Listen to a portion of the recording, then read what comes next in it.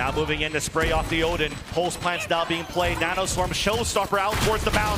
It does land for a double kill. It's up to Daiki though. A two versus one. There's that first kill. The swing left to the other one. Team Liquid is not done. Daiki with the Rebel clutch. And we're tied up in this series. One to one. Liquid played this map so well, completely.